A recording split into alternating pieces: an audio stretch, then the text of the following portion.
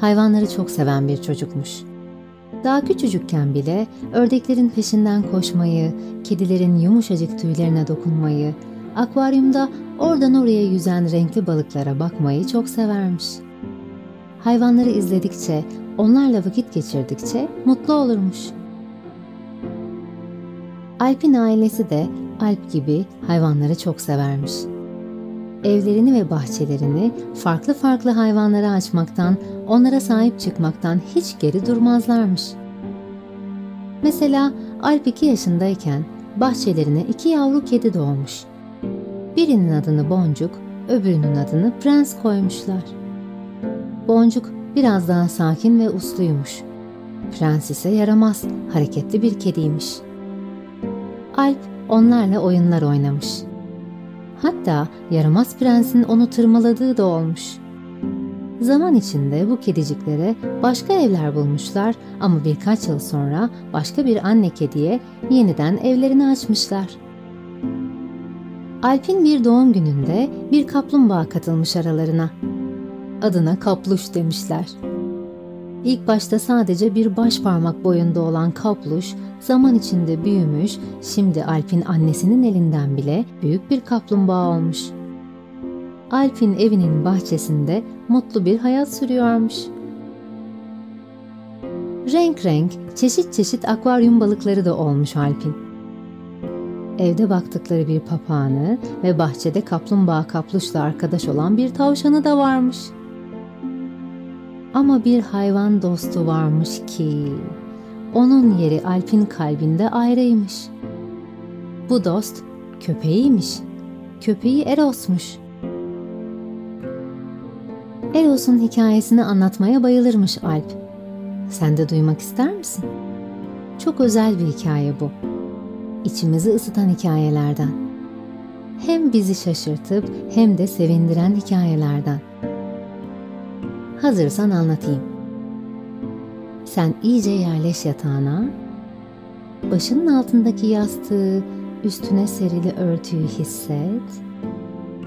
Kapat gözlerini, anlattıklarımı hayal et.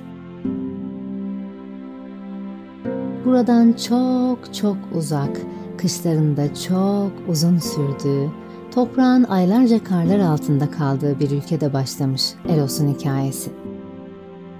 Alp'in ablası bu ülkenin bir okulunda öğrenciymiş. Soğuk bir sonbahar gününde okuldan eve dönüyormuş. İçini üşüten rüzgar, gece yağacak karın haberini veriyormuş. Ablası sıkı sıkı paltosuna sarılmış, bir an önce sıcak evine varmanın hayalini kurarak hızlı adımlarla ilerliyormuş. Her zaman geçtiği bir sokakta yürürken daha önce hiç duymadığı bir ses duymuş incecik bir ses. Bir ağlama sesi. Alp'in ablası hemen durmuş. Etrafına bakılmış, kimseyi görememiş. Kim var orada? diye seslenmiş ama bir cevap alamamış. Sesin geldiği yere doğru yürümüş.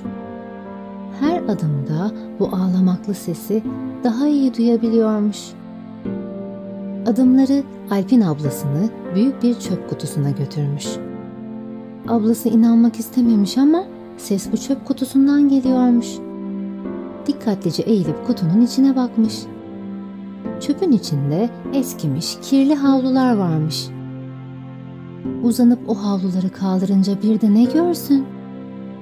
Çöp kutusunda dünya tatlısı, krem rengi, avuç içi kadar bir bebek köpek varmış.''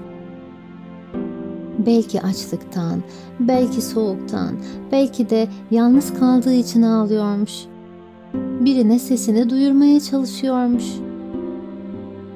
İlk görüşte hayran olmuş bu yavruya ablası. Hemencecik köpeği çöpten çıkartmış. Derisinin buz gibi olduğunu fark edince onu atkısına sarmış. Köpecik ısınınca susmuş, tatlı bir uykuya dalmış.'' Alp'in ablası ilk iş yavru köpeği bir veterinere götürmüş. Sağlığının iyi olduğunu öğrenmiş. Onu bebek mamaları almış, evine götürüp beslemiş. Sıcacık bir suyla banyo yaptırıp köpeciği aklamış.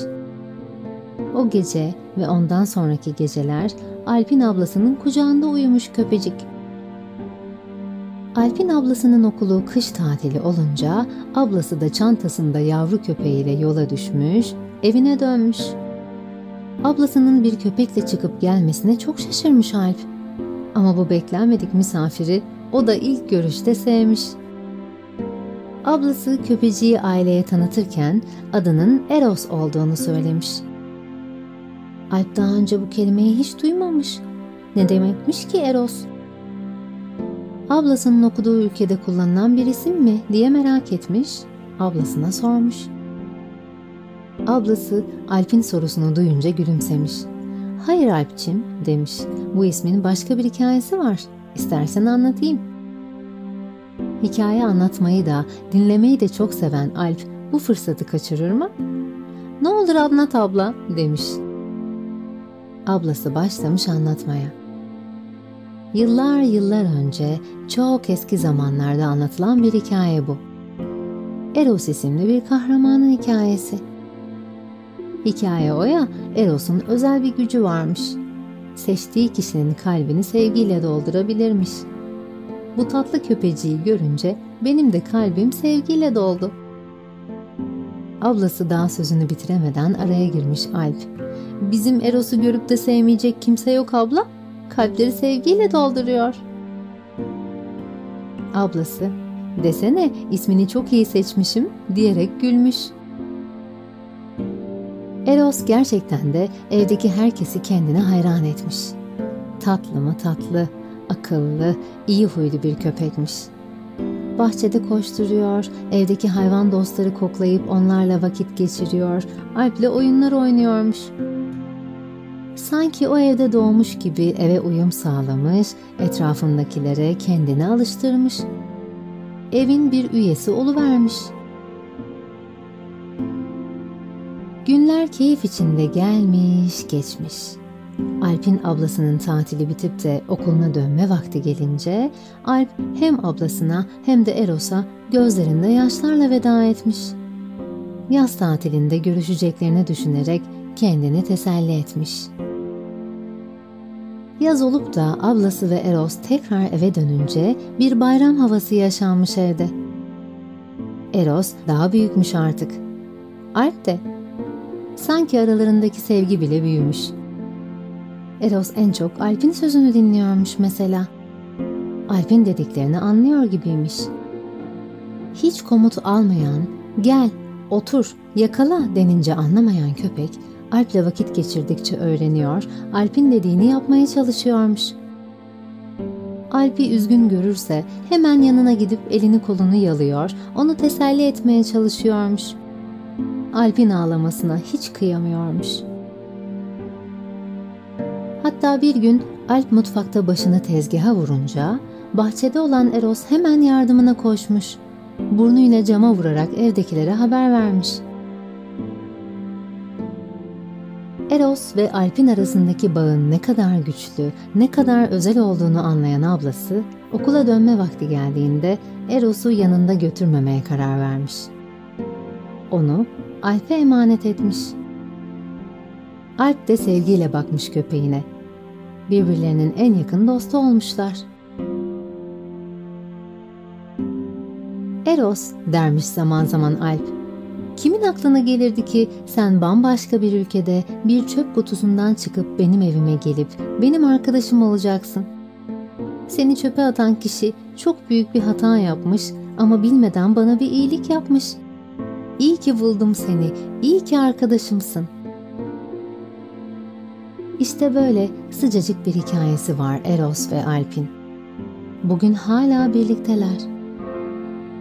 Hatta Alp de tam bu saatlerde yatağa girmiştir.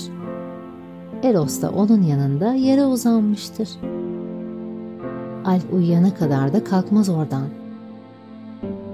Ve Alp uyandığında ilk göreceği yüz yine Eros'unki olacaktır. İyi geceler Alp, iyi geceler Eros. Bazen hiç umulmadık bir zamanda, beklenmedik bir şekilde karşımıza çıkar biri. O sıcacık sevgiyi bulunca ayrılmak istemeyiz. İyi ki deriz. İyi ki tanıştık. İyi ki hayatımdasın. İyi ki varsın. İyi ki Alp'in ablası Eros'u buldu. İyi ki Alp Eros'la tanıştı. İyi ki Alp bize hikayelerini anlattı. Hadi şimdi sen de hayatında iyi ki var dediğin kişileri hatırla. Ailenden, arkadaşlarından iyi ki hayatımdasın dediğin kişiler. İyi ki tanıştık dediğin hayvanlar. Onları hatırla. Onlarla beraber geçen güzel zamanları hayal et zihninde. Beraber keyifli, tatlı geçen günleri hatırla. İyi ki yaşadık, ne güzeldi dediğin anları, anıları düşün.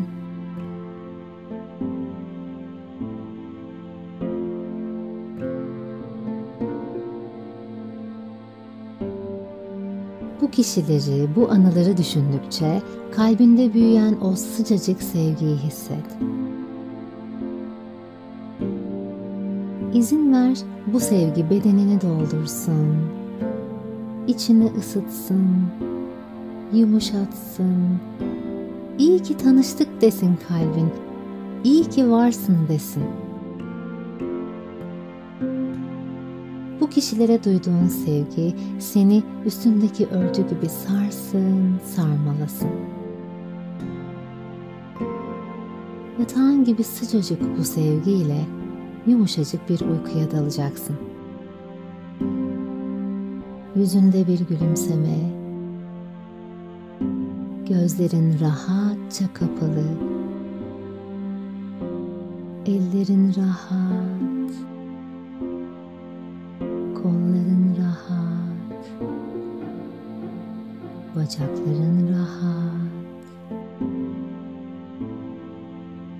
kalbin sevgi dolu.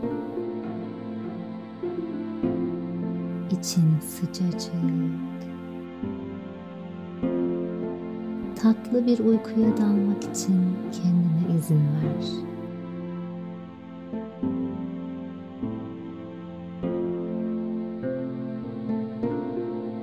İyi geceler,